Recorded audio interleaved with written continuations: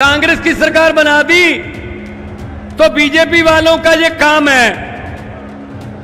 उनका तो सीधा सा आइडिया है, अगर इलेक्शन से नहीं जीते तो बाई इलेक्शन से जीतेंगे।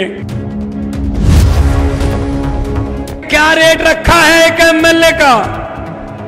ऊपर से भाई साहब, कांग्रेस ऐसी है, जिनके मुख्यालय पर यह लिखा रहता है कि यहाँ पर जनता द्वारा चुने हुए विधायक सस्ते रेटों पर मिलते हैं।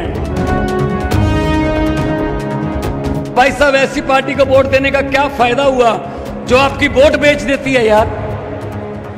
आपका वोट बेच दिया वहाँ पर कि हम विधायक हैं जी, हमें इतने लाख दे दो, हम इस्तीफा दे देंगे, बाद में बाई इलेक्शन कराओ, बीजेपी की सरकार आ गई। भाई साहब, मध्य प्रदेश में पिछली बार पाँच साल पहले इलेक्शन हुई, पौने पाँच साल पहले। उसमें आपने कांग्रेस की सरकार बना दी। कांग्रेस की सरकार बना दी तो बीजेपी वालों का यह काम है। उनका तो सीधा सा आइडिया है, अगर इलेक्शन से नहीं जीते तो बाई इलेक्शन से जीतेंगे। उन्होंने क्या किया? उन्होंने कांग्रेस वालों से बात की कि क्या रेट रखा है एक एमएलए का? ऊपर से भाई साहब, कांग्रेस ऐसी है जिनके मुख्यालय पर यह लिखा रहता है कि यहाँ पर जनता द्वारा चुने हुए विधायक सस्ते रेटों पर मिलते हैं। तो तीस खरीद लिए भाई साहब। तीस विधायक चले गए।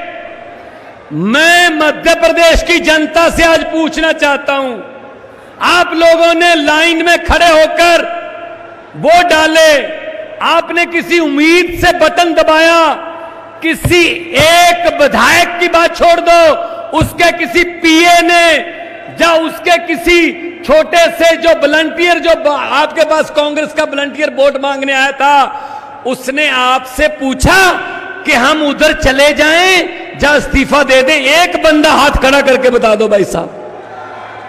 आपसे पूछा कि हम लोग बीजेपी की तरफ़ जा रहे हैं। नहीं पूछा। तो भाई साहब, ऐसी पार्टी को वोट देने का क्या फ़ायदा हुआ? जो आपकी वोट बेच देती है यार। आपका वोट बेच दिया वहाँ पर कि हम विधायक हैं जी, हमें इतने लाख दे दो। हम इस्तीफा दे देंगे।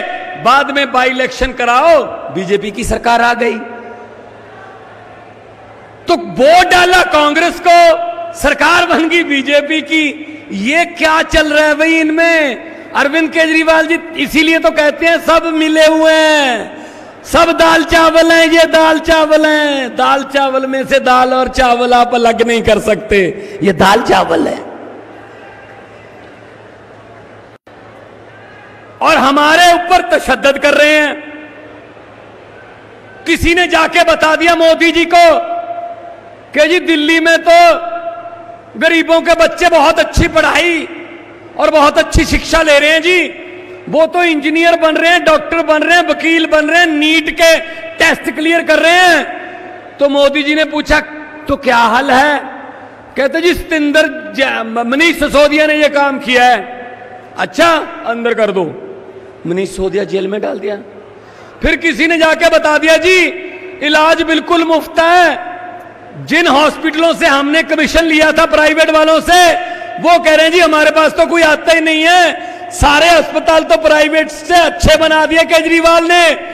इलाज बिल्कुल फ्री है, पैरासीटामोल की दवाई से लेके, गोली से लेके 40-50 लाख के टेस्ट तो फ्री करवा रहा है वो। तो मोदी जी ने पूछा, कौन करवा रहा है? कहते सतिंदर जैन का काम है ये। सतिंदर जैन को अंदर कर दिया जी। कहते जी, केजरीवाल पूरे सर, आपके घर पे भी तो सुने ही होंगे। आपके घर पे, आपके घर तक तो आवाज़ आई होगी। तो दोनों हाथ ऊपर उठाकर, इनकलाब!